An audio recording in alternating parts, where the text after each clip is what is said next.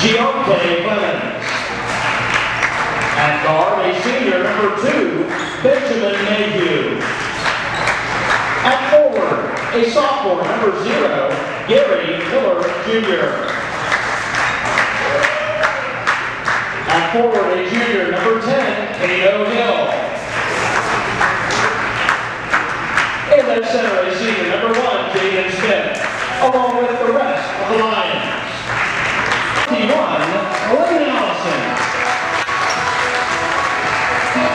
Also at